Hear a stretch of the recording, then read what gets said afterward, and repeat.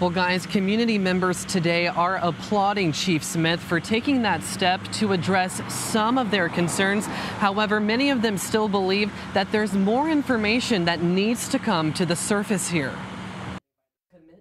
I think it is good that there was at least a conversation restarted. I think it's a step in the right direction. Two Richmonders and former co chairs of the Civilian Review Board Task Force give credit to Police Chief Gerald Smith. We are here to answer these questions for sitting down with CBS 6 to address concerns about conflicting information he initially released about an alleged July 4th mass shooting plot, as pressure mounted from community leaders and elected officials demanding answers. That is the entire premise of police accountability and transparency, is when, we when it's not done the way that we understand, we want more accountability, and Chief Smith gave that to you. The chief told me he was frustrated that people responded with skepticism about his claims because it took the focus off of praising the police for their work. I don't think that frustration is the thing that our public officials should be feeling when they're asked to be accountable by community members.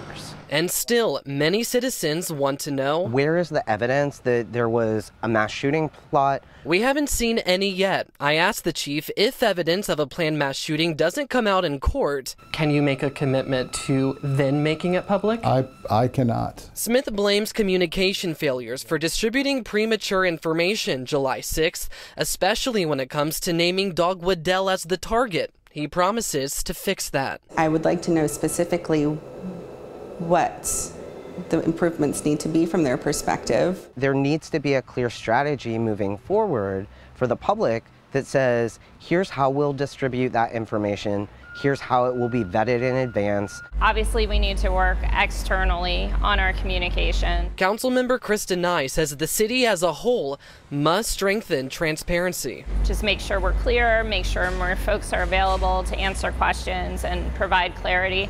But I also think internally, the information is not being exchanged as quickly and in the way that it should be. Since that initial news conference, Nye says she and her colleagues have requested to be briefed by police.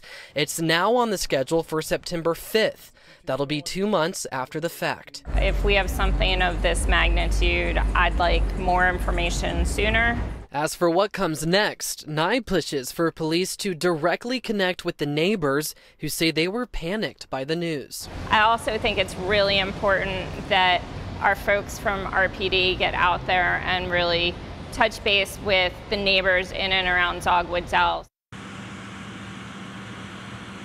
And now I also reached out to Mayor LeVar Stoney's office for a statement. A spokesperson tells me the mayor believes there is room for improvement, particularly in communications.